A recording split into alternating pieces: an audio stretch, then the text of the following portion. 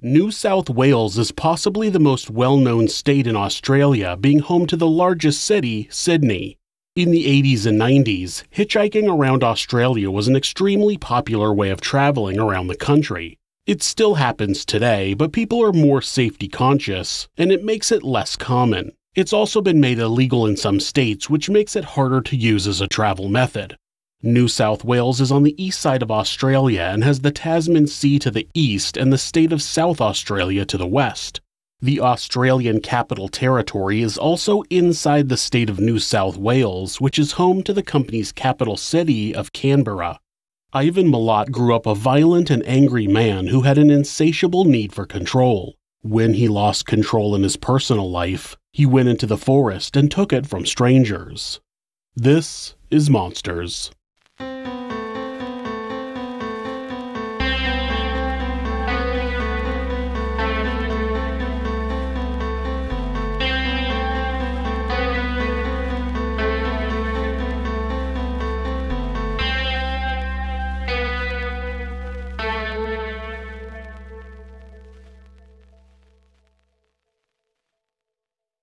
Ivan Milat was born on December 27, 1944, in Bossley Park, a suburb of Sydney in New South Wales, Australia. His father was a Croatian immigrant laborer who moved to Australia when he was 24 years old to work in the mines. He eventually moved closer to Sydney and began working on the wharf. A few years later, he married an Australian woman named Margaret Piddleston when she was 16 years old. The couple went on to have 14 children, four girls and 10 boys, of which Ivan was the fifth child. The family would find a permanent home in the suburb of Guildford, where the Milat boys became well known as the neighborhood troublemakers. Ivan was arrested multiple times in his late teens for theft and breaking and entering. He received probation first, then he was put in a juvenile center. After turning 18, he was arrested again for theft and breaking and entering and served 18 months in prison. He was only out about a month before being arrested for auto theft and served another two years. Once out, he was arrested again for theft and sentenced to three more years in prison. In April of 1971, Ivan waited outside the train station in Liverpool and offered a ride to two 18 year old girls that had gotten off the train. Once they were in the car, he pulled out a knife and threatened to stab them if they called for help. Then he drove out into the woods and tied them both up. He told them that he would kill them if one of them didn't have sex with him, so one of them gave in and agreed. Now, I'm going to stop right here and let you know that I'm using the word agreed with air quotes around it only because it's important later. Ivan had a knife and was threatening to kill them, so there was absolutely no consent. Once they were done and back on the road, the women were able to convince Ivan to stop at a gas station so they could get some drinks, and he agreed. Once the girls were out of the car, they ran into the gas station and told the people inside that they had been kidnapped and raped. A few men ran out to confront Ivan, but he was able to drive away before they got to him. The girls gave a description to the police. In August of 1971, Ivan, his younger brother Michael, and two other men robbed a bank in Canley Heights. They had sawed-off 22 caliber rifles and a sawed-off shotgun. They got away with $360, but Michael was eventually picked up and interviewed about the robbery. He confessed and ratted out his brother and the two other men. Ivan was arrested and his mother paid the $1,000 bail to get him out. While out on bail, authorities charged Ivan with the kidnap and rape of the girls from the train station. Not wanting to go back to prison, he fled the area, causing his mother to lose the bail money. Ivan got a fake ID and spent most of the next two and a half years in Auckland, New Zealand. Some say that he returned to Australia because he was in trouble with the New Zealand police. Others say he returned because his mother was sick. But either way, once he was back in April of 1974, he was arrested for the robbery and the kidnap and rape charges. This time he was denied bail. During the rape trial, he explained that the young woman had quote unquote agreed to have sex with him, and the defense attorney started hassling her about her sexual orientation, which tainted the jury enough that he was acquitted. Then he was also acquitted of the robbery charges for some reason. In 1975, at 31 years old, Ivan met 17 year old Karen Duck, who was secretly pregnant with his cousin's child at the time. She would later claim that about a week after they got together, they were driving down the road when Ivan suddenly stopped, grabbed her by the throat, and forced her to have sex with him. Despite this, Karen stayed with Ivan, and after giving birth to her son, Jason, she moved into a trailer with Ivan on his parents' property. They lived there for years before Ivan was able to get a loan to purchase a house in Blackett, about 30 minutes further away from Sydney. According to Karen, Ivan became increasingly more abusive after they moved into the house. He became controlling and obsessed with the house being spotless. She said he once got mad at her and smashed a coffee table, then told her if she cleaned up the pieces, he'd destroy the entire house. The pieces of the coffee table sat in the living room for a week as a reminder to her to not question him. She told him that she wanted to have another child, and he told her that he'd shoot her if he ever found out she was pregnant. In 1983, after eight years of abuse, Ivan and Karen got married. A few months after their marriage, Ivan's father died. Not long after, Karen went to live with her mother, but after many calls and letters from her husband, she went back to live with Ivan. The length of their marriage was shorter than the time they dated, but it was equally filled with violence. Ivan accused Karen of having an affair, yelled at her if she talked to the neighbors, threw things at her, and even threatened her while putting a gun to her head. Finally, on Valentine's Day of 1987, Karen had enough and she and Jason left for good.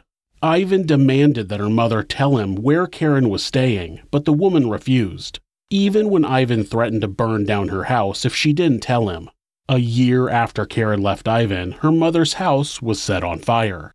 The fire destroyed two cars and the garage on the house. By the end of 1989, the divorce was final and Ivan was full of anger over Karen's defiance. He even took a job using one of his brother's names to avoid paying alimony.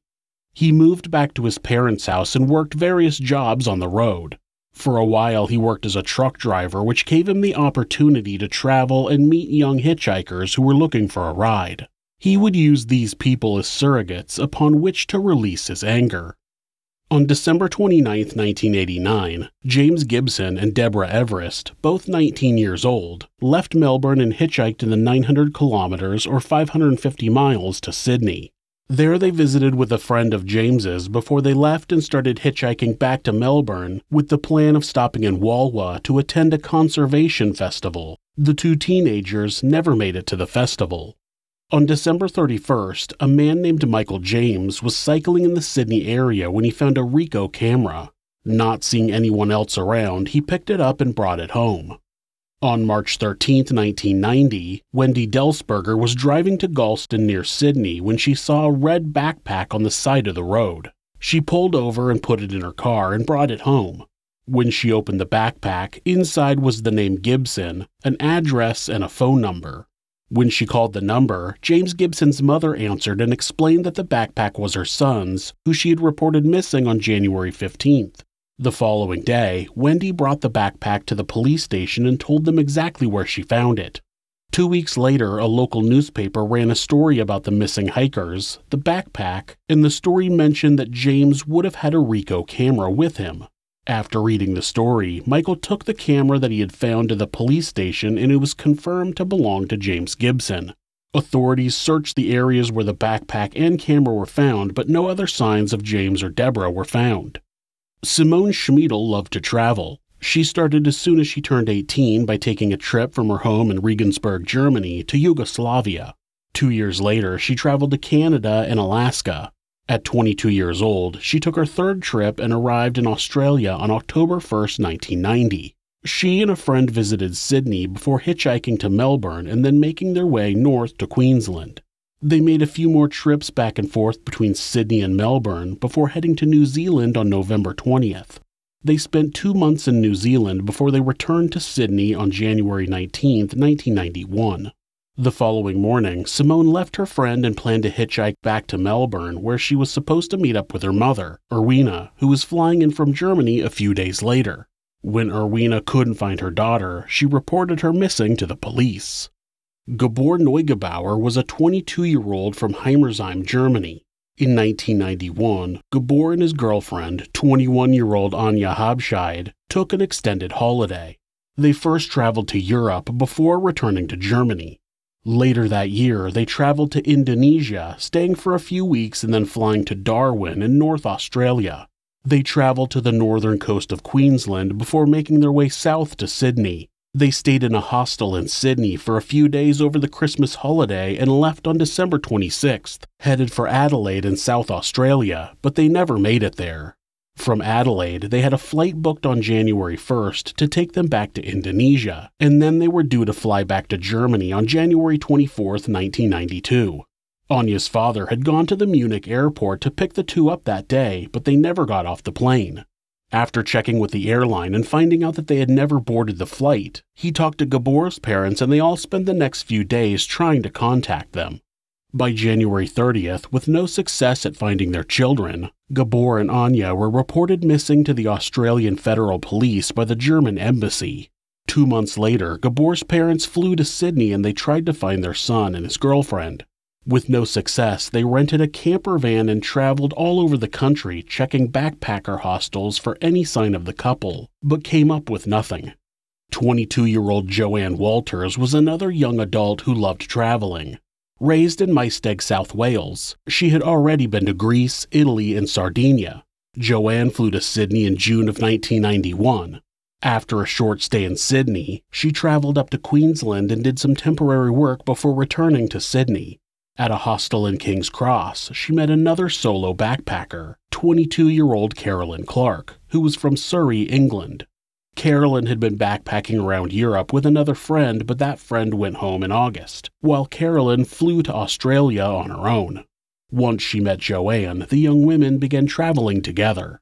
It's common for people who want to travel on a budget to stop and find temporary work along the way. This way, they can spend a little money getting from one point to another, then stop and make a little money, then spend it going to their next destination. In February of 1992, Joanne, Caroline, and two other backpackers went to Mildura, west of Sydney and Victoria. They spent about six weeks picking grapes to make some money to continue their adventure. When they were done working, they went back to Sydney and then hitchhiked to Melbourne, where they took a ferry to Tasmania. After a few weeks in Tasmania, they traveled back to Sydney, where they stayed in an apartment for a couple of weeks. It seemed that by the end of April of 1992, Joanne and Caroline had decided to hitchhike back to Mildura, possibly to work, but it's unknown. They left Sydney and were never seen again. After not hearing from their daughter for over a month, Joanne's parents reported her missing to police in North Sydney. Not long after, Caroline was reported missing to the New South Wales Missing Persons Unit. According to Australia's National Missing Persons Coordination Centre, more than 38,000 missing persons reports are received by police each year. Now, many of those people are found relatively quickly, but about 2,600 become long term missing persons. Those are people who remain missing for more than three months. In 1992, the head of the New South Wales Missing Persons Unit, Sergeant Peter Marcone, reported that there were more than 861 people listed as long term missing in New South Wales at the time. He said that there were another 400 cases being investigated as newly reported missing persons. The disappearances of Simone, Gabor, Anya, Joanne, and Caroline all got combined due to the fact that they were foreign visitors to the country at the time, the disappearance of James and Deborah weren't connected to the others. The police investigated as much as they could, but never found any credible sightings of the missing backpackers.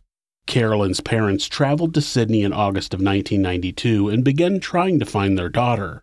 They scoured Sydney and even went to Mildura to the vineyard that the girls had worked at and talked to the owners, but they left without any clues.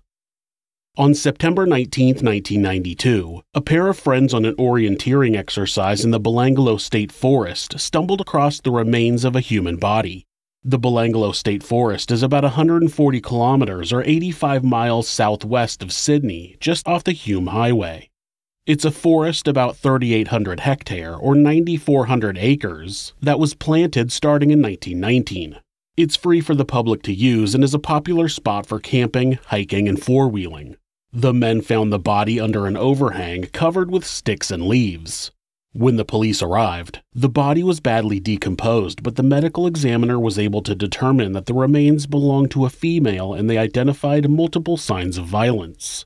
There was evidence of 14 stab wounds to the neck, chest, and back, some of which cut ribs, the spine, and the cervical vertebrae.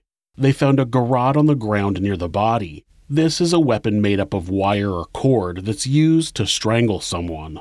The next day, as police were searching the area for evidence, they found the remains of a second female. These remains were tucked beneath a fallen tree and covered with sticks and leaves, about 30 meters from the first body. This body was also stabbed a number of times, but also shot 10 times in the head from all different angles the front, back, each side, and even the top of the head. The head had been wrapped in a red cloth before being shot. 10 22 caliber shell casings were found on the ground near the body. These murders showed an extreme level of violence that made it apparent that the killer was a very angry and deranged person. The bodies were suspected of belonging to Joanne Walters, the first one found, and Caroline Clarke, the second one found. Once the identities were confirmed, Joanne's parents, who were still in Sydney, were notified. Then a call was made to Caroline's parents, who were still in England. Investigators searched a wide area around the crime scene and along the Hume Highway, but no other evidence was found. The police offered a $100,000 reward for information leading to an arrest, even including the possibility of immunity to an accomplice if they hadn't been involved in the actual murders. By November of 1992, all the evidence had been analyzed and authorities had no leads. The case became cold. On October 5, 1993, two more bodies were discovered in the Belanglo forest. A local man always thought there could be more victims in the area after Joanne and Caroline's bodies were found, so he would regularly hike around the trails and fire roads, looking for anything suspicious. On his walk this day, he happened to find human bones that showed signs of violence. When police arrived, they found skeletonized human remains at the base of a tree, partially covered with sticks and leaves. The bones had been disturbed by animals, but most of the bones from the upper body were still there and showed evidence of stabbing and a skull fracture. Women's clothes were scattered nearby. Investigators began searching the area and found a second set of remains at the base of a different tree. This one was curled up in the fetal position, still clothed with multiple stab wounds to the chest and back. They knew that they had one man and one female victim, but it took several days before the remains could be positively identified as James Gibson and Deborah Everest. An even wider area was examined around the area where the bodies were found, and about 400 meters away, nine bullets were recovered from a tree trunk. All but one were damaged beyond identification, but the last one was found to be a 22 caliber bullet, the same as the bullets recovered from Caroline's body. On October 16th, Detective Kevin Hammond went to the Belanglo Pistol Club and asked if anyone had seen anything suspicious. One of the members suggested that he talk to another member named Alex Milat. The detective spoke with Alex and they scheduled a time for him to come into the police station to be interviewed. Alex was the older brother of Ivan Milat. On October 18th, Alex arrived at the police station and told the detectives this story. On April 26, 1992, he and a friend, Bill Ayers, had left the Pistol Club and were driving on Belanglo Road toward Hume Highway. They were in Alex's vehicle, but Bill was driving. They passed two cars as they were driving away from the gun club. The first was a brown 1980s Ford Falcon, and it was signaling that it was going to turn into the forest. The second was a brown and beige four wheel drive vehicle, either a Holden Rodeo or a Nissan Navara. As the Ford Falcon passed by, Alex noticed that the driver was white, tall, thin, in his mid 20s with tattoos on the fingers of his left hand. He went on to say that the man had red hair in a flat top cut with mutton chop sideburns and a prominent nose and Adam's apple, quite detailed for a quick glimpse as the car passed by. Then he told the detectives that there was a male passenger who he described in equally specific detail and claimed that he was holding a 410 model shotgun. In the back seat was a Caucasian woman in her mid 20s, with mousy colored shoulder length hair. She had what appeared to be a gag in her mouth, and as they passed by, she sat up and looked at him. He said it seemed like she was trying to get his attention. As the four wheel drive passed by, he saw two men in the front seat and a man and woman in the back seat. This woman was also Caucasian, in her mid 20s, with dark brown hair. She also had a gag in her mouth, and he said her eyes widened as she saw him. He said she looked frightened. Alex said he didn't get a good look at the men in the front, but the man in the back seat was Caucasian with brown hair, neatly groomed. He was clean shaven and looked to be well dressed, wearing an off white collar style long sleeve shirt. As they got closer, Alex explained that the man in the back seat put his hand up next to his face to shield it from view. Alex said that he noticed that his hands were clean and smooth, like he didn't do any outdoor labor. He said he also wrote down the license plate number of the second vehicle but had since lost it. The detective showed Alex pictures of the victims and he identified Caroline and Joanne as being the two women in the vehicles. He said he didn't end up reporting what he saw because he assumed that they were all just going into the woods to have a good time. He also said he had seen the same Ford Falcon before and inside he could see multiple rifles, at least two being 22 caliber and one being a Ruger. The detectives questioned Bill Ayers to see if his story matched Alex's. He said he did recall seeing a couple of cars that day, but didn't remember anything else. It was safe to say that the detectives didn't quite believe Alex. His story was impossibly detailed. He saw a prominent Adam's apple. He could tell the man had soft hands. They also found it hard to understand why he would think these people were just going out to the woods for a good time after seeing the women gagged and looking afraid.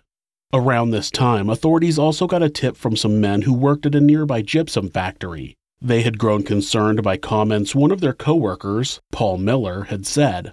In April of 1992, when the news was printing the story of Gabor and Anya's disappearance, Paul had told them that he knew who killed the Germans, but quickly changed the subject.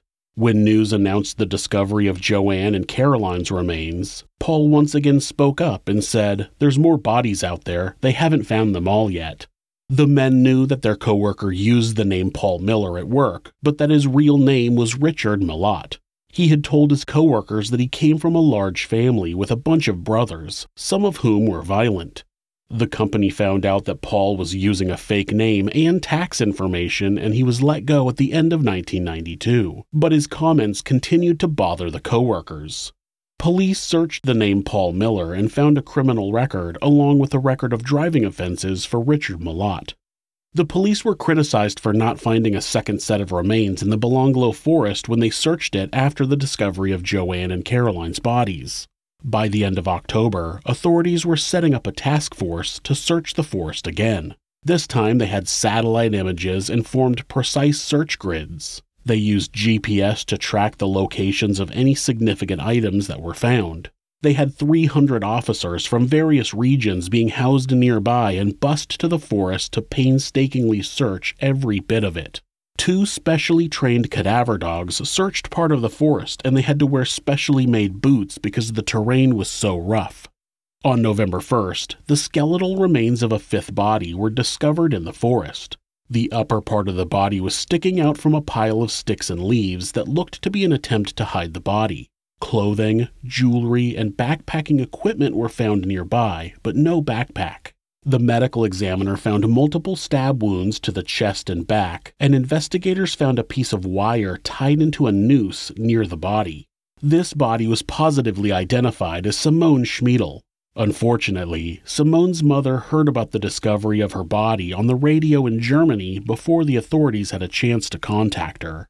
Three days later, on November 4th, a search team found another set of skeletal remains buried under forest debris. The remains showed signs of multiple stab wounds, one severing the spine, and the skull was missing. Near the remains was a blue and yellow rope with loops tied in each end. About 50 meters from these remains were another set of skeletal remains beside a log. The skull was still with this body, which had six bullet holes in it. Four of them were later confirmed to be 22 caliber rounds. There was also a cloth tied around the skull which looked to have been a gag. There was evidence that the body had also been stabbed. Near the body, authorities found a money belt containing international student cards belonging to Gabor Neugebauer and Anya Habschied.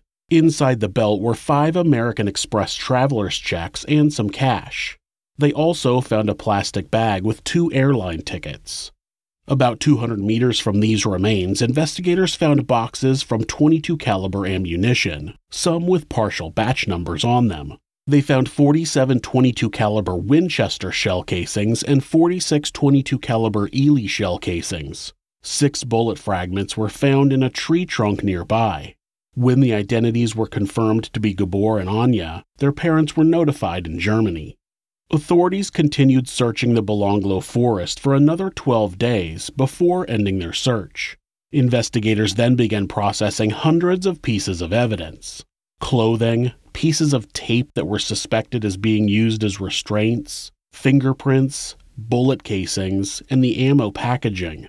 After all seven bodies were located, the government increased the reward for information leading to an arrest to $500,000, the largest reward ever offered in Australia at the time. The investigators determined that many of the bullet casings found in the area near Gabor's body, as well as casings near Caroline's body, came from the same 22 caliber Ruger 1022 semi-automatic rifle fitted with a silencer. They also found that the firing pin left an upward indentation which came from a manufacturing defect in Rugers made between 1964 and 1982. Authorities were able to get information about all of the Ruger rifles of that type that had been imported into Australia. Then they began the painstaking process of tracking where every rifle ended up. On November 9th, a woman called the tip hotline and told them that in January of 1990, she had been driving on the Hume Highway when she saw a man running down the road being chased by another man. When she stopped near the first man, he yelled, Help me, he's got a gun. She led him in her car and drove him to the nearest police station. The man's name was Paul Onions. Two days later, Paul called the tip line himself. Paul Onions was from England and he told authorities that he had flown to Sydney in December of 1989. In January, he set out to hitchhike to Melbourne and was quickly picked up by a man who said his name was Bill, driving a white or silver Toyota or Nissan four wheel drive utility vehicle. He said the man was in his 40s with black hair and a horseshoe mustache. Paul said that they drove for about an hour before the man pulled over and pulled out a gun. He said he ran and the man chased him. He said the man started shooting wildly at him, so he was running in a zigzag until he reached the road where he was picked up and taken to the police station. Paul left his backpack with all of his belongings, including his passport, in the vehicle when he ran. When the current task force looked into Paul's original police report, they found a hard copy of the report, but no follow up was done. When information was gathered about the entire Milat family, Ivan's criminal background came up and police began to narrow their focus to him. Reports from the rape trial back in 1974 listed one of the abducted women as saying that she had asked Ivan if he had done this before, and he responded yes and said he often picked up hitchhikers and he always carried knives and ropes in case an opportunity arose. By the start of 1994, Ivan Milat was a strong suspect, and on February 26th, he was put under surveillance. Investigators looked into the vehicles that Ivan had owned and found that he owned a silver Nissan four wheel drive utility vehicle, just like the one described by Paul. On May 2nd, Paul Onions arrived in Sydney and spent the day with detectives, taking them to the spots where he had been picked up and then to where the attempted abduction happened. Then he was taken to the police station where he was shown a photo array. He picked out Ivan as the man who had picked him up and tried to abduct him in 1990. It was important to note that Paul had been picked up not long after setting off on his hitchhiking journey from Liverpool, an area southwest of Sydney. All seven victims recovered from the Belanglo forest had been picked up while hitchhiking from Liverpool. This gave the investigators a smoking gun that allowed them to get warrants for seven properties owned by various members of the Milat family. The task force spent two weeks preparing for a massive raid on the Milat family where they would arrest Ivan for the attempted abduction of Paul Onions, and then search the properties for evidence that linked him to the backpacker murders.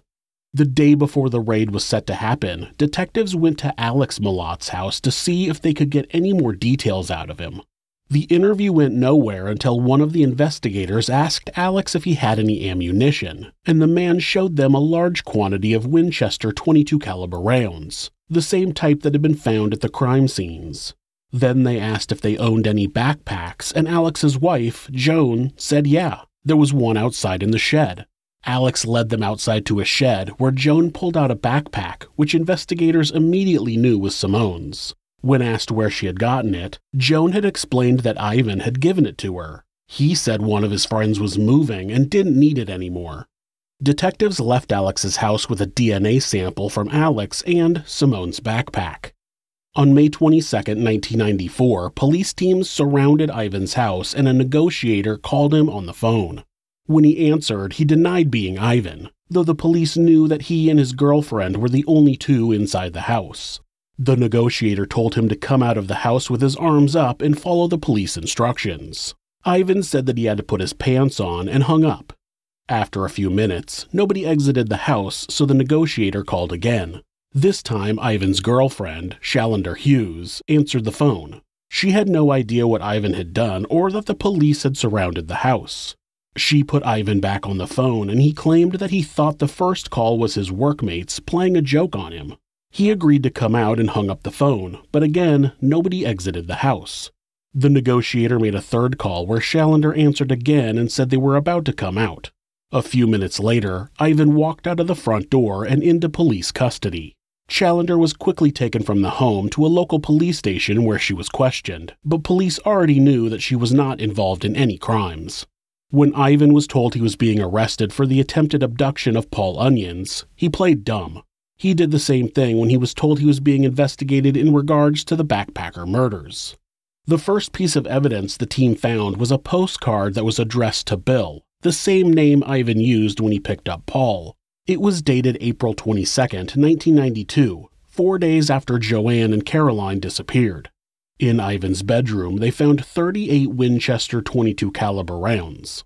They found some Indonesian currency, though Ivan had never been to Indonesia, but Gabor and Anja had just come from Indonesia when they disappeared. They found two rolls of black electrical tape that matched the tape found near Gabor and Anja's bodies. They also found a driver's license with Ivan's picture on it in the name of Michael Milat. In another bedroom, they found a camouflage knife that matched the description given by Paul. They found four boxes of Eley 22 caliber ammunition that had the same batch number as the boxes found in the forest, apart from a Ruger rifle and the instruction manual to a Ruger 1022. They also found a green water bottle that matched the description of one that Simone was traveling with. In Ivan's sister's room, they found a green sleeping bag that matched the description of one that Deborah had owned, and another sleeping bag that matched the description of Simone's. A camera, a cooking set, a camp stove, and cups that all matched the descriptions of the same items owned by Simone were found in the kitchen. In the rest of the house, they found a tent and a sleeping bag cover that were believed to have belonged to Simone.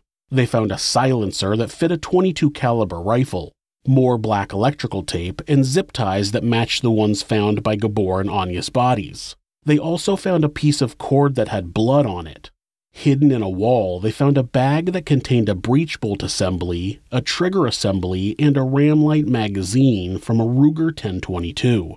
A ballistics expert identified a crescent shaped firing pin and two small burrs on the bolt face that matched impressions on many of the shell casings collected from the forest. Test firing proved that those gun parts had been used in the rifle that killed Caroline. At Ivan's mother's house, they found another 22 caliber rifle along with clothing that matched the description of clothing owned by Simone and Paul Onions. At Richard Milat's house, they found a tent, a sleeping bag, and a bedroll that matched the descriptions of ones owned by Caroline, along with a blue sleeping bag that matched the description of Joanne's. Richard told investigators that Ivan had him and another family member come pick up a bunch of guns and ammo from his house in March of 1994. He said it was because the police might come to investigate him. Ivan was taken to the police station and interviewed for hours, but he continued to deny everything. When his lawyer arrived, detectives told him that Ivan was being charged with the armed robbery of Paul Onions, but they would need to analyze all of the evidence collected in the raid before they announced any more charges. As far as Clive Small, lead of the task force, was concerned, Ivan was fucked. Not only had he been identified by a victim that got away, but he had all of the victim's belongings at his or other family members' homes they found a backpack that was an exact match for the one Simone had at Alex's house. Is it likely that someone else owned that exact same backpack? It's not just likely, it's perfectly reasonable. Is it likely that that backpack, along with a tent and sleeping bag that matched the ones owned by Caroline, ended up in the possession of the Milats? I wouldn't say likely, but I wouldn't base a trial on it. Is it likely that items that matched Simone's backpack, sleeping bag, camera, clothing, and all of her other camping gear, Caroline's tent, bedroll, and sleeping bag, Deborah's sleeping bag, Indonesian money, and Paul's clothes all ended up with the Milats? No not even a little bit. Then you add the electrical tape, the zip ties, the ammunition from the same batch, the matching bullets. Oh, and the DNA from the blood on that cord found in Ivan's house came back as being from a child of Caroline Clarke's parents. Ivan was fucked. On October 24, 1994, Ivan Milat was officially charged with seven counts of murder, one count of attempted murder, one count of robbery, and one count of false imprisonment. Ivan's defense strategy was to deny everything. He claimed that he hadn't owned any guns, though his ex wife testified that he always had a gun on him, and investigators found a rifle that had Ivan's name etched into it. He claimed that all of the items that matched the possessions of the backpackers that were in his or his family's homes was just a big coincidence. Yeah, a huge coincidence. Some of the items were German brands that weren't common in Australia. He also tried to claim that one of his brothers was the real murderer and that they had planted all of the backpacker belongings at his house, something he would say in a later interview wasn't true. Further investigations showed that the other Milat boys didn't have the same connections to the crimes that Ivan did. It was believed that Alex knew that Ivan had committed the murders and tried to protect him by making up a story when he was interviewed the first time members of the Milat family brought in a photo album with pictures of family events that would give Ivan an alibi for one of the murders. But it turned out that the date on the picture had been changed. When Paul Onions testified about his attempted abduction and identified Ivan, saying he had a horseshoe mustache at the time, Ivan denied ever having a mustache like that. Then the district attorney showed a picture of Ivan with the exact same mustache from that time frame. Even Ivan's own attorney admitted that Ivan was lying. After three days of deliberation, on July 27, 1996, Ivan Milat was found guilty on all charges. He was given seven life sentences without the possibility of parole, plus 18 years for the other three charges. In 1997, Ivan and another inmate came up with an ill fated plan to overwhelm the guards and escape from the prison. They were quickly arrested after they made their first move. In 2001, Ivan swallowed razor blades, staples, and a small metal chain from a pair of nail clippers. He must have been treated successfully as there aren't any more details about the incident. In 2009, Ivan cut off his little finger with a plastic knife and attempted to mail it to a New South Wales Supreme Court justice, but it never made it there. Ivan was taken to the hospital, but they weren't able to reattach the finger. In 2011, he went on a nine day hunger strike when his request for a PlayStation was denied. Ivan Milat was diagnosed with terminal esophageal cancer in May of 2019 and died on October 27th of the same year. In 2010, Ivan's great nephew, Matthew Milat, killed a 17 year old in the Belanglo State Forest with an axe while his friend Cohen Klein recorded the audio on his phone. He was sentenced to 43 years in prison in 2012. It seems that being a monster runs in the family. If you're the victim of domestic abuse, please reach out to someone for help. Please talk to your local battered women's shelter or call the National Domestic Abuse Hotline at 1 800 799 SAFE. That's 1 800 799 7233. Or you can go to thehotline.org to chat with someone online. The great thing about this website is that, at any time, hitting the escape key twice will take you to a Google search page. That way, if your abuser is nearby, you won't get caught looking for help. If you're having feelings of harming yourself or someone else, or even just need someone to talk to, please contact your local mental health facility, call 911, or call Mental Health America, who operate the National Suicide Prevention Hotline at 1 800 273 TALK. That's 1 800 273 8255. They're available 24 hours a day, 7 days a week, and will talk to you about any mental health issue you might be facing. Thanks so much for watching this video. You can help us out by hitting the like button or leaving us a comment. You can also subscribe to the show to ensure you don't miss an episode. If you'd like to support the show, you can do that by checking out our merchandise at Teespring. You can also discuss the channel and the episodes on our subreddit, r forward slash this is monsters. You can find more ways to support our show and how to find us on social media by visiting thisismonsters.com. Thanks again, and be safe.